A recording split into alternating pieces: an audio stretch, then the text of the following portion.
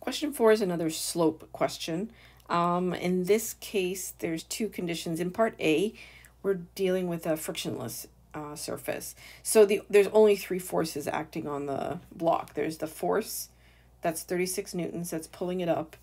Um, and it's pulling it against friction, I mean against gravity. Um, and again, we have this same triangle.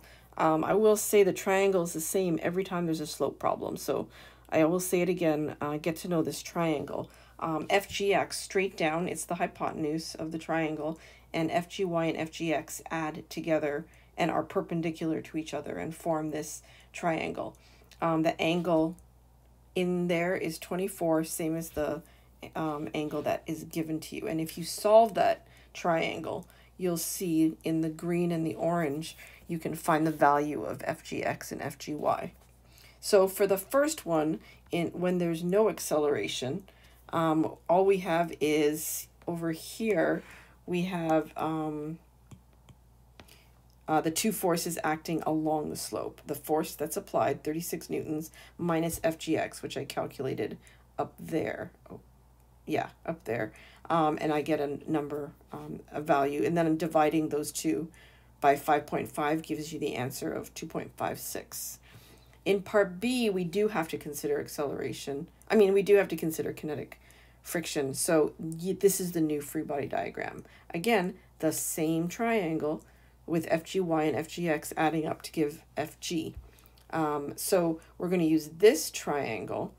And so now there's three forces along the plane, right? There's the force pulling up, there's the force of friction opposing the motion, and then there's the x component, that green vector, minus um, also opposing the motion. So we get this equation, which is for this problem, is ma equals the force minus the force of friction minus the x component of gravity. Um, how do we find the force of friction? Well, we do it over here. And the force of friction is mu Fn. That's the formula you know. Um, and then this case, I kind of do it up here. You need to know what Fn is.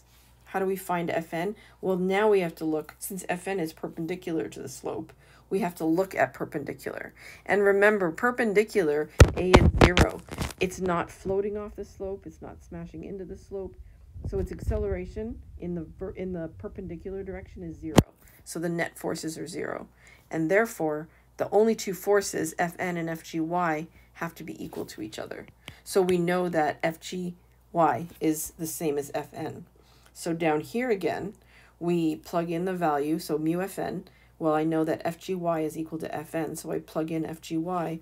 And then since I already solved that orange um, up here, sorry, there's a lot of moving here. Since I already solved that, I just plug it in for ff. Now, ff goes back into this original equation, and we know everything. We know the force is 36, we now know friction is 5.9 and we know that the x component of gravity, we already calculated that. So dividing all that by 5.5 gives you the new acceleration of 1.49.